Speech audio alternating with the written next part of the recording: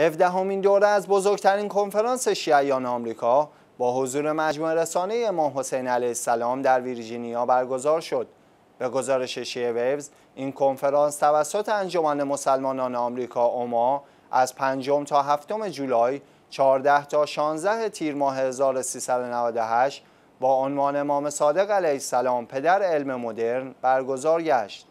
مجموعه رسانه امام حسین علیه السلام نیز به عنوان بزرگترین مجموعه رسانه‌ای مستقل شیعی و با هدف معرفی دستاوردهای ده ساله خود و ارائه چشماندازهای پیش رو در نمایشگاهی که در حاشیه این کنفرانس برپا شد حضور یافت. بازدید کنندگان از غرفه این مجموعه رسانه‌ای با فعالیت‌های مختلف پنج شبکه تلویزیونی به پنج زبان و خبرگزاری شیویز به سه زبان و عملکرد ده ساله این مجموعه رسانه‌ای آشنا شدند.